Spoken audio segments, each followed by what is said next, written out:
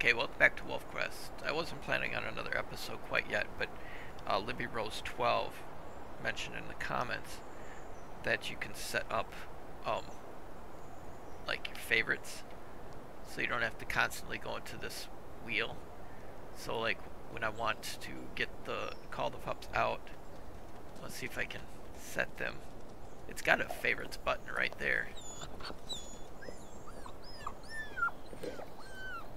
Okay, so now let's do voice.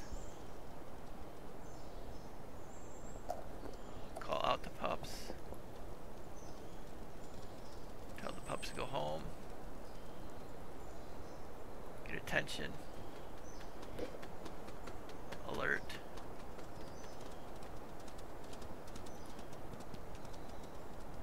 Body. Playing. Okay, so now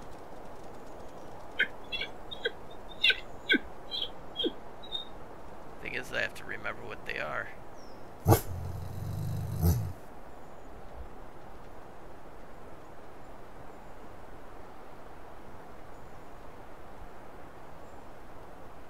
So I sent them into the den. Okay, so now we just have to when we have here we just have to um kind of memorize what we have them set at. So we got the calls the puppies out, tells the puppies to go home. So one and two, and then get their attention. I think that's to get your mate's attention uh, for an alert. And then the last five and six will be our play buttons.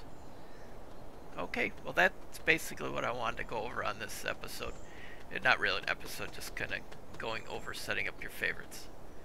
Okay, thank you so much for watching. I appreciate it. Have a great rest of your day, and I will talk to you in the comments.